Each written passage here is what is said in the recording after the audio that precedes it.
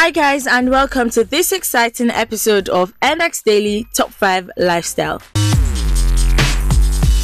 On number 5, the US based actress and mother of two wrote in a series of sultry photos shared ahead of her 37th birthday. In one of the photos, Georgina wrote, It's a shame for a woman to grow old without ever seeing the strength and her beauty with her own body. Never apologize for being sensitive and emotional. Let this be a sign that you've got a big heart and aren't afraid to let others see it.